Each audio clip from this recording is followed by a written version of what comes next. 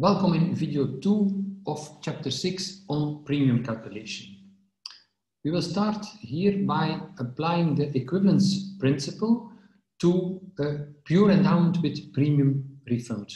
Such a contract, a pure, a pure endowment with premium refund, is not considered in the book. How do the net premiums look like? The net premiums in such a contract are constant premiums P that are paid as long as the insured of age X is surviving, but not longer than n years. So there is a premium upon survival of the insured at times 0, 1, 2 to n minus 1. The benefits of the pure endowment with premium refund consider, consist of a pure endowment s times exn, so an amount of s which is paid if in case the insured is still alive at time n, plus a premium refund. What is this premium refund here? That is, if the insured dies in the first year, there is a refund of the premium P. If the insured dies in the second year, there are two premiums paid back. If the insured dies in the end year, there are end premiums paid back. So the premium refund is in fact a life insurance contract with a variable insured amount, which is equal to the number of premiums paid so far. Let us determine the premium by the equivalence principle. The equivalence principle tells us that the expected loss at policy issue must be equal to zero. This is an equation where in the left-hand side you have the premium and in the right-hand side you also have the premium. But of course we can solve for the premium and find then that the premium of such a contract is given by S times exn divided by a double dot xn minus ia1xn. We can rewrite this premium in another form. It is s times exn divided by a double dot xn. That is the premium, the yellow part is the premium for the pure endowment, plus an extra term. And this extra term is what you pay extra for the premium refund. Now we can define gross premiums. What is a gross life insurance contract? In a gross life insurance contract, we consider the following outgoing cash flows, the benefits and the expenses. These are payments that the insurer has to do. And then there is the incoming cash flows for the insurer, which are the gross premiums paid by the policyholder. In expenses, we will make a distinction between three types of expenses. There are initial expenses, expenses when the contract is set up, and these are also called acquisition expenses. Then there is the renewal expenses, which are uh, expenses which have are charged every time a premium is paid. And then there are also terminal expenses. These are expenses related to the payout of the life insurance amount in case of death. But of course, other kinds of expenses are possible. What is then the gross loss at issue of the contract? It's now the present value at time zero of the benefits, plus the present value at time zero of the expenses, minus the present value at time zero of the gross premiums. So from the viewpoint of the insurer, the loss is all what he has to pay, benefits and expenses, minus all what he will receive, that is the gross premiums. The equivalence principle now for a gross contract says that the expected loss, the expected gross uh, loss at issue must be equal to zero, or we can rewrite this that the actuarial value of the gross premiums must be equal to the actuarial value of the benefits plus the actuarial value, value of the expenses. So that means that the equivalence principle states that the actuarial value of what the insurer will pay, that's the benefits and the expenses, must be equal to the actuarial value of what the policyholder will pay, and that's the, the actuarial value of the gross premiums. Let us now have a first example with an endowment insurance contract. The benefits of this contract are 100,000 A3020, so that means we consider a person of age 30. If he dies before the age of 50, then at the moment of death, there is a payment of 100,000. But if he is still alive instead at the age of 50, then there is also the payment of 100,000. The gross premiums are paid by the 30 uh, year old person for at most 25 years. So the premium payment stops uh, after, sorry, there is a mistake here. This should be the premiums at age 20. Sorry, this should be the premium for a duration of age 20. So let us correct this. This 20 should be, this 25 should be 20. Okay. The questions that we can have to answer are then write down the gross loss at issue random variable and calculate the gross premium. The standard select survival model is the survival model that we will use.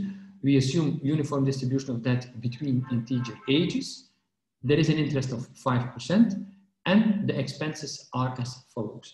There is an expense of 2000 at policy issue and then there is an expense of 0.475 times the premium plus also here 0.025 of the premium. So that means at time zero, there is half of the premium is considered as an expense. And then from the first year, from the second year on, from the second premium payment, anytime if there is a premium payment, 2.5% of that premium is an expense that is charged by the insurer. So the first part here, the 2000 plus in fact the 0.5 times the premium is the initial expense. And then the renewal expenses are 2.5% of each coming premium. Now, what is the gross future loss of this contract? Is the present value of the endowment contract, so of the endowment uh, insurance, so that's 100,000 times the present value of A3020, plus the present value of all costs, and the present value of the cost 2,000 at time zero is 2,000, the present value. 47.5% um, of the first premium at time zero, its present value is 0.475, the premium. And then there is here minus 0.975, the present value of all future premiums. Where does this come from? Well, in fact, it should be the cost that insurer is going to pay is 2.5% of each premium. So this is the present value of this cost. And then we have to withdraw the present value of all premiums that are paid. So you see 0 0.025 times this present value minus 1 times this present value is minus 0.975 times the present value. The equivalence principle now tells us that expected loss at time zero has to be zero, or if we rewrite this, that means 100,000, the actual value of the endowment insurance, plus 2,000, plus 47.5% of the premium minus 97.5% of each of the of all premium payments. This has to be equal. If we solve this, we get that our premium is given by this value here.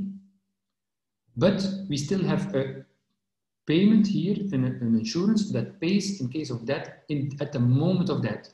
We have to make the uniform distribution of death assumption, and we know from formula 4.2 to 8 that A 30, A overlined 3020, so the endowment insurance with the payment at the moment of death can be written as I over delta A3120 plus E3020. So this helps us to calculate this premium in terms of yearly actuarial functions. And if you make the calculations, you find the premium of 3,260. Now, a remark on that example 6.5 is about new business strain. What is new business strain? Well, notice that the premium at policy issue is, as all the other premiums, is 3,260.6. But what are the expenses that the insurer has to make at policy issue? There are 2,000 plus 50% of the premium, so that 3,630 0.30, that is larger than the premium. So that means the premium at policy issue is not enough to cover all the expenses at policy issue. That is what is called new business strain. the first year premium is insufficient to cover the first year expenses. So that means if you sell a contract, immediately there is in fact an amount of money that the insurer, that the policyholder still has to pay. So that is like kind of asset, but regulation usually does not allow to book this shortfall as an asset. So what is the consequence? This means that if the insurer sells a contract, then he needs funds in order to be able to sell these new policies. The insurer needs funds which he will borrow from the shareholders. So that is in, in fact a loan, but in the end, who has to pay the loan? It, is, it has to be paid by the policyholder, of course. So this loan is gradually paid off by the policyholder via expense loadings in his future premiums. So it's in fact in the savings account, in the insurer's savings account, we start with a negative amount. We start below zero because the income, the premium, is smaller than the outgo, the expenses at time zero. And this is not allowed, so the insurer has to find extra funds to um, fund this shortfall. And as is written here, this in will later be paid back by the policyholder because he will add a little bit more premium every year for um, paying back that loan. What are the triggers of new business strain or new business strain is caused by what? By a high initial agent commission. If there is a high initial commission to the agent, that means there is a high. Is 2000 for instance, is very high. So that makes that it becomes more expenses at time zero than the premium income or an aggressive portfolio growth strategy. If we grow, if our portfolio goes, grows very fast because we have a growth strategy, that means that there is a shortfall, not for one contract, for many contracts, and that can create problems. I must say in practice, this problem is a problem that does not occur too much anymore because in many countries, like in Belgium, this initial costs, the costs, the acquisition costs will not be so high. The, the costs will be spread over the years, will not be made initially at the start of the contract, and that will avoid new business strain. Then we have a term insurance contract, example 6.6, and it's a contract with the following benefits. There is a payment of 50,000 in case the 55 year old person dies within the next 10 years. The payment is at the moment of death. And the premiums are 12 times P times the annuity, a 10 year annuity on a person of age 55 with 12 payments per year. That means that each premium that is paid is a premium of amount P. P is the monthly premium, and this premium is only paid for 10 years maximum in the beginning of each month and provided the insured is alive. The question is then, calculate the monthly gross premium P. We have to choose a technical basis for being able to calculate our premiums. The standard select survival model is assumed with the uniform distribution of deaths assumption for fractional ages. The interest is 5% and the expenses are as follows. There is 500 initial expense at time zero. And then in the first year, 10% of each premium is considered as an expense. So there is an expense of 10% of each premium in the first year. And after the first year, there is still an expense related to each premium payment, but this expense is only 1% of the, of the premium amount. Let us then have a look at the equivalence principle. The equivalence principle, the expected present well, well, sorry, the expected present value of the benefits or the actuarial value of the benefits plus the actuarial value of the expenses must be equal to the actuarial value of the gross premiums. What is the actuarial value of the benefits? That's of course 50,000 times the um, it, it's an insurance, a term insurance of duration 10 on a person of age 55 with a payment of 50,000 at the moment of death. So here we have the actuarial value of the benefits. What is then the actuarial value of the expenses. There is an initial expense of 500. And then remember there was 10% of the premium in the first year and 1% after the first year. Or we could say there is 9% of the premium to be paid in the first year.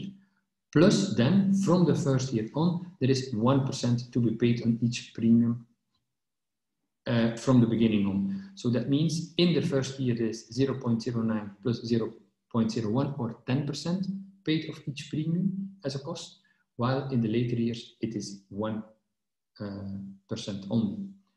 What is the expected present value of the gross premiums then? The expected present value of the gross premiums is an annuity with monthly payments on a person of age 55 for a duration of 10 years with premium per month P. Now, we have to use the equivalence principle, expected present value of benefits plus expected present value of expenses is equal to expected present value of gross premiums. Now we still have a small problem. We're here, we have a term insurance with pace at the moment of death, but we will apply the uniform distribution of death assumption. So this can be written as I over delta times a term insurance with pace at the end of the year of death. We have also here an annuity with 12 with monthly payments under the uniform distribution of death assumption. We know that this is can be written as alpha 12 times alpha 12 minus beta 12 times 1 minus E55 1. And so we can do the yearly, we can use yearly actuarial functions to do the calculations. And a similar approximation for this annuity with monthly payments for a duration of 10 years. Under the distribution, uniform distribution of death assumption, it can be written in this form in terms of actuarial functions, yearly actuarial functions. If we do all the calculations, then we come to a monthly premium of almost 19. Then we have example 6.7, which is a variable life insurance contract, meaning that the payment at is variable. Depends on the year, changes over time. Consider the life insurance contract with the following benefits. At the end of the year of death of a 40-year-old person, he will receive 100,000 but we adapt the 100,000 by a percentage of 2.5% per year. So if the person dies in the first year, he gets 100,000. If he dies in the second year, he gets at the end of the year 100,000 multiplied by 1.025. If it's one year later, there is again more to be paid, taking into account this growth, this 2.5% growth of the payment. The gross premiums are paid lifelong and constant premium P. Let us calculate the annual gross premium P. Therefore, we have to know the technical basis. It's the standard select survival model for mortality. The interest is 5% and the expenses, we assume that the expenses are as follows. There is an initial expense of 200 immediately at policy issue and there is 5% to be paid at any premium, 5% of each premium is an expense from the second premium on, from year one on. Let us then have a look at the expected present value of the gross premiums. We can write this as P, A dot 40, taking into account our technical basis, that's 18.4596P. Let us have a look at the expenses. The expected present value of the expenses are the initial expense of 200 plus 5% multiplied by the P multiplied by A double dot 40 minus 1. This is the actuarial value of all our expenses. And this is, if you make the calculations, 200 plus 0.87298 P. Then the benefits. The benefits, the expected present value of the benefits is 100,000 multiplied by the sum over all k 1.025 to the power k v to the power k plus 1 q 40 k bar. So that means if the insured dies in the year k k plus 1, then at time k plus 1, there is the payment 1.025 to the power k. We have to discount this over the period k plus 1, 2 times 0, so multiplied by v to the power k plus 1. Similar to what we have done in example 4.8, we can now rewrite this actuarial value as an actuarial value of a whole life insurance with lifelong payments, but where we change the interest I in where we change the interest I in an interest I star. And what is the I star? Here is defined as follows. 1 divided by 1 over I star. 1 divided by 1 plus I star is 1.025 divided by 1.05. So we get that our I star is indeed this value. And our expected present value of the benefits looks like 100,000 divided by 1.025 multiplied by the single premium for lifelong life insurance on a person reached 40 with an interest I star instead of the real technical interest I. And if we make this calculation, we find 32,816.71. Now, all the, the expected present value of the premiums plus the expected present value of the expenses must be equal to the expected present value of the benefits. We solve for the premium and we find a premium of 1,877.38 per year. The next example is example 6.8. Now we consider a life insurance with benefits given here. So what is what are the benefits? It's a deferred annuity, 15 year deferred on a person of age 50. So that means that the pension only starts at age 65 and the total pension paid per year is 80,000, but it is spread in monthly payments paid in the beginning of the month. So the payment, the pension per month is 80,000 divided by 12. The gross premiums here is just there is a single premium paid at time zero. And then the question is, let us determine the gross single premium P. We have to choose a technical basis. We, assume the standard select survivor model with the uniform distribution of death assumption for fractional ages. We assume an interest of 5% and we assume the following expenses. There is an initial expense of 1000 at policy issue and then each time, at each time t going from 1, 2, 3 to infinity, that the insured is still alive, there is a, an expense of 20 multiplied by 1.01 to the power t minus 1. So the initial, at time one, the first expense to be paid is 20. At time two is at time two, it's 20 times 1.01, and this grows in this way from year to year. Now, the expected present value of, this, of the benefits of this contract is the deferred annuity with 12 with monthly payments and a payment of 80,000 per year on a person reached 50, 50 for a delay with a deferral period of 15 years is 483,303. What is now the expenses? The expected present value of the expenses is the initial expense of 1,000 plus then the gradually increasing expense of 20 over the years, provided the insured is alive. So this is given by this expression. And if we now look at example 5.5, one can do something similar. We can rewrite this sum, which is in fact a kind of an annuity, where the amount insured, the, the annuity amount increases over time. We can write it as a constant annuity, provided we adapt the interest, the technical interest I by an other interest J, where the J is defined as follows, 1 over 1 plus J must be equal to 1.01 divided by 1.01. If you make the calculations, you find for the expected present value of the expenses 1,365. Then setting expected present value of benefits plus expected present value of expenses equal to the expected present value of the premiums. But in this case, there is a single premium, so the expected present value of the premiums is just P.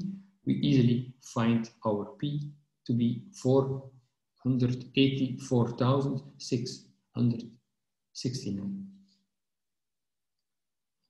Then in the book, there is a section on profit. Just read that section in the book.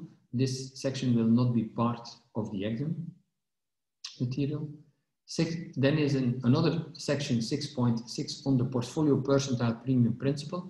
Interesting to read in the book, but also this section will not belong to the exam material. There will be no questions on the exam related to, to section 6.6.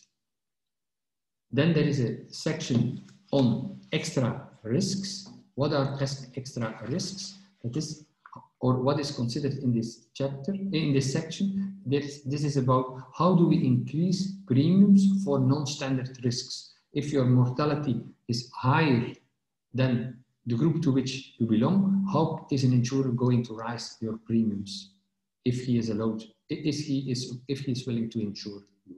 That is considered in section 6.7. Again, read it in, a, in the book, but this is not part of the exam material.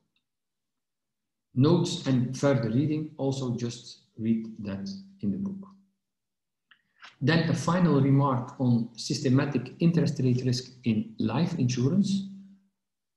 This comes, these are a number of citations from a book, from a paper by René Schnieper from 2018.